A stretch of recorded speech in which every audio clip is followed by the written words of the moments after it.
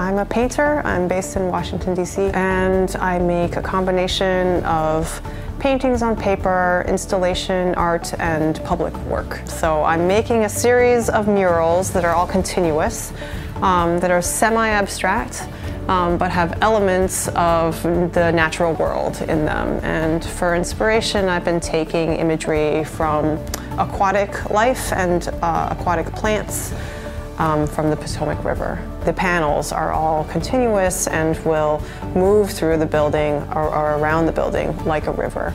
I'd like to thank PEPCO for the opportunity. Um, I'm always looking for more and more ambitious projects and this has uh, given me the opportunity to learn and take a lot of risks and I've loved every minute of it.